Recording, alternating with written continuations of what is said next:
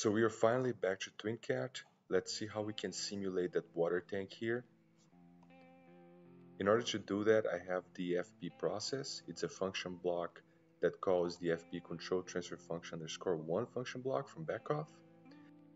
Here, I have some internal variables that I'm going to be using to parameterize and make this uh, instance functional. So during the first cycle of the function block, I have this uh, if statement here going on.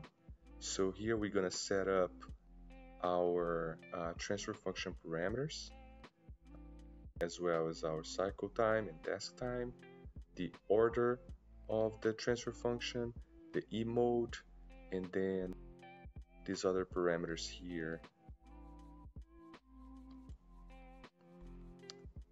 Then after that, what we're going to do is call the transfer function and we're passing one input, which is the input of the function block, the E mode, the parameters, and the output of the transfer function, we're going to output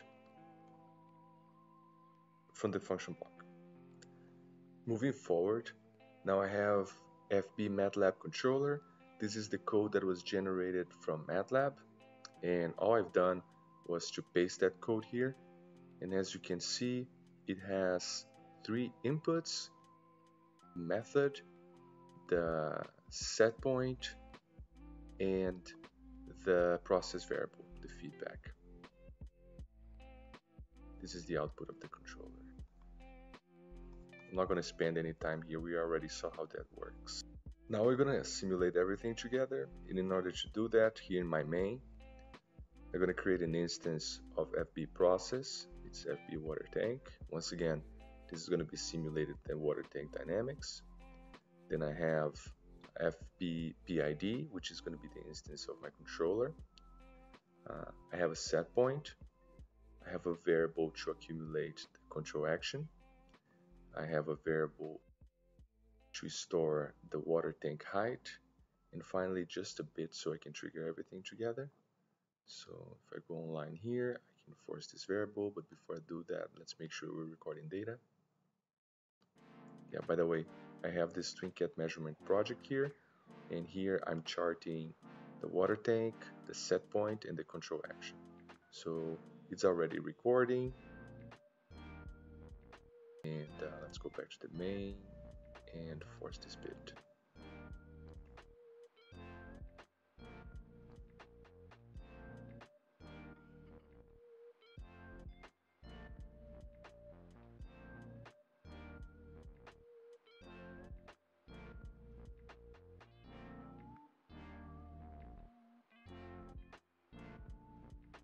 And as you can see, here we have the water tank height that converges to the set point in a very large amount of time.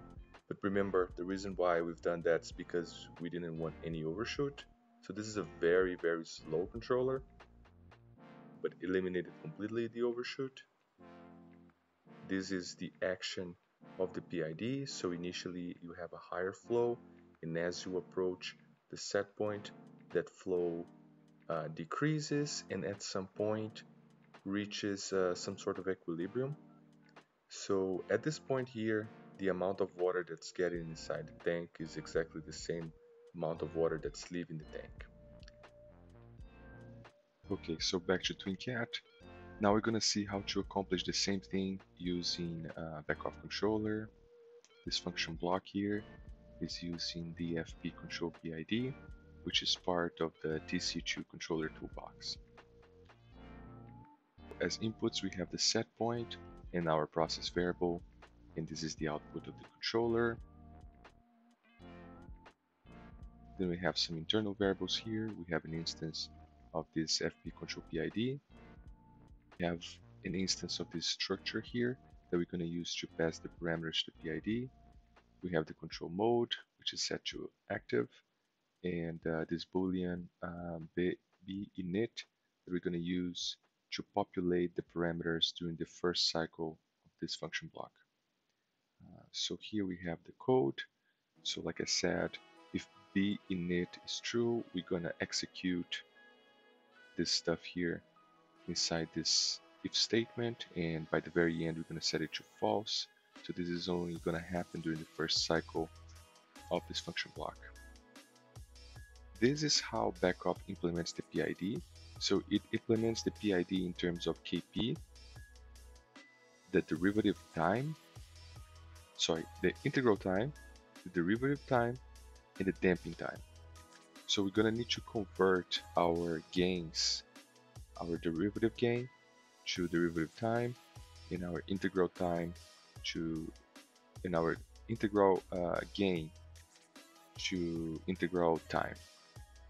DDS is the damping time. DDS is the pole of a filter that we implement on the derivative component of the controller and we do that to create a little bit of stability. As you may know from your classic theory control classes, it's not good to have a pure zero. A transfer function that has a zero and no poles is very unstable, so we add uh, TDS here to make this a little bit more stable. So our control time is 10.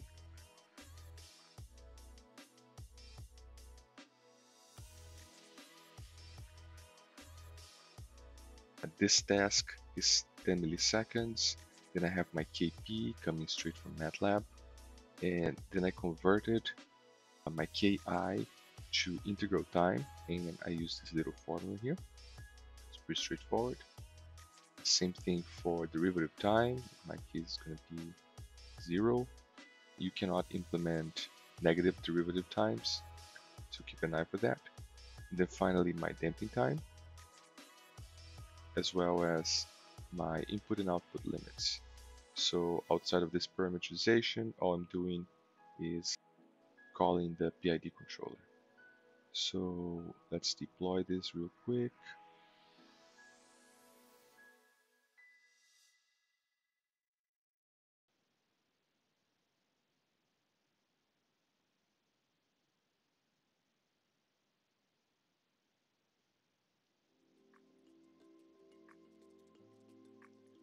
So I'm recording, reading zero,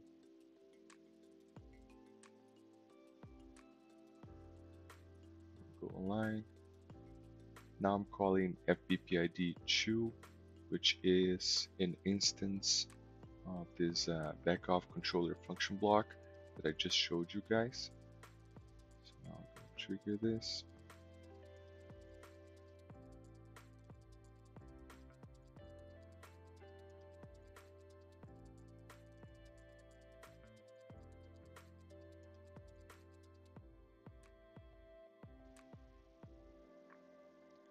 And as you can see, the response of this PID has a very similar response to the MATLAB controller PID uh, that we tested.